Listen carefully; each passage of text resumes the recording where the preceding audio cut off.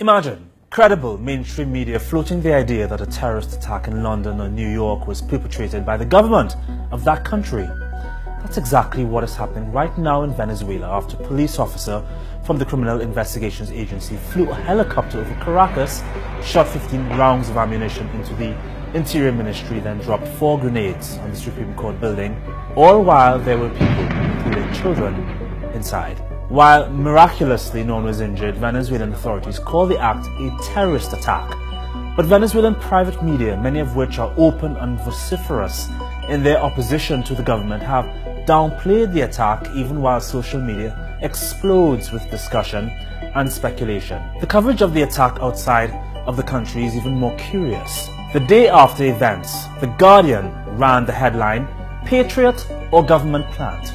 Rumors fly over Venezuela helicopter attack, quoting one Twitter user. For its part, the Washington Post asked, was helicopter attack rebellion or ruse?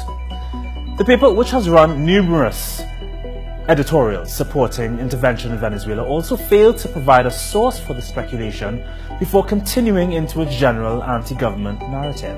Venezuela's new foreign minister chided the silence of those countries and institutions that routinely issue statements expressing concern for the situation in Venezuela but fail to condemn violence from opposition sectors. This week alone, another member of the National Guard was killed and two other bystanders burned alive by opposition protesters. How would media coverage act like this in their own country? How would their governments react if this happened on their own soil? These are the questions officials in Venezuela are asking, while reputable news media spread fake news speculation about false flag operations.